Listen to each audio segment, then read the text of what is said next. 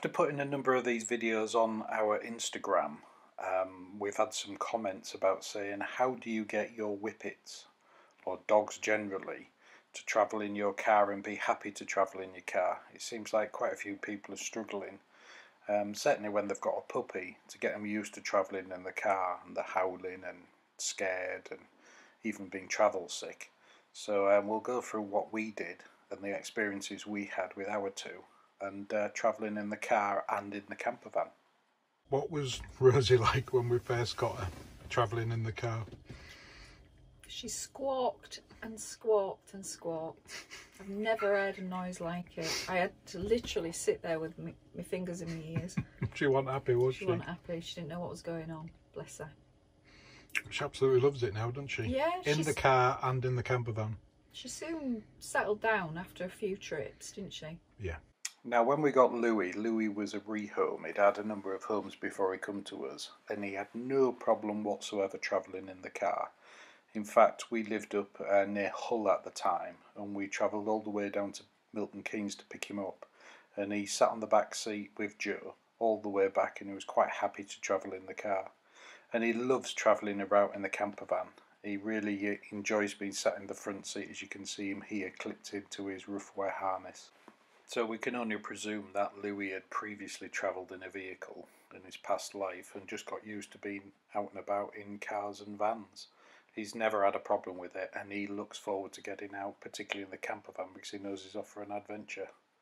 They're both travel in back of the car. We have a big bed in back of the car to make sure they're comfortable and they can see out the windows, which I think also helps.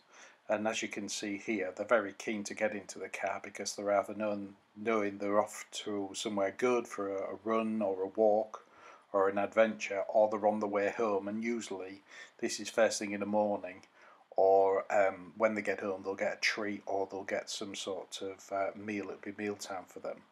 So they see the car as a good experience and they enjoy getting in the car to get to that experience legal requirement in the UK to have your dog secured or in a secured area within a vehicle when travelling, so they can't disrupt the driver or get if you have an accident, the the safe as possibly can be. So Rosie generally travels in a cage in the camper van, and Louis either on the front seat clipped in, which is legal because I did test it with the police. I did go and see a police officer and ask if that was a legal way to travel with Louis, and they accepted it. But Rosie spends the time in a cage in, in the back of the camper van.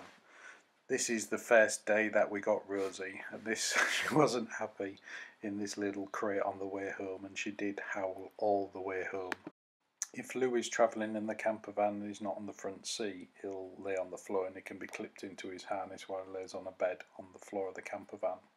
But as I say, Rosie travels in a cage or a crate, and as you can see, she just falls asleep most of the time in there.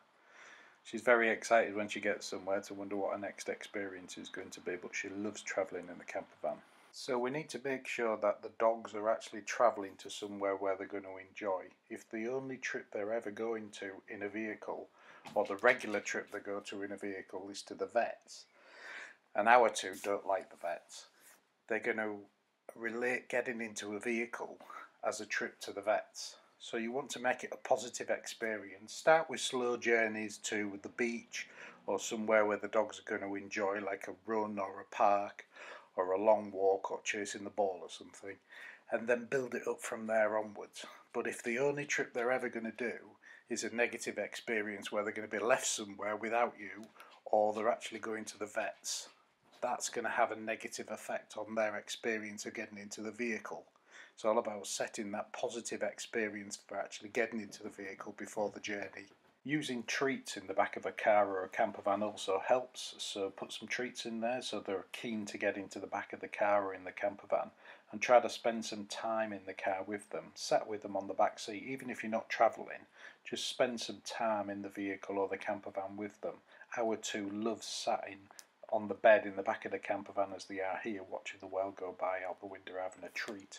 So the combination of things for us that really worked is being comfy, being familiar with the car, having a positive experience for travelling in the car, being able to see out the window, the use of treats, spending some time in there so the seat is a good place, all work for us.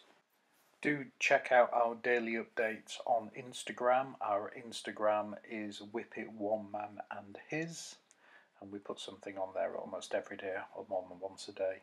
I do hope that you found this useful and it helps with travelling with your whippet or dogs generally. If you do have any other suggestions or comments, please leave them below in this video because other people can actually pick up on those comments and you may have some other good ideas that's worked for you or some experiences that you've tried and that's really paid off. Thank you once again for watching and hope to see you on the next one.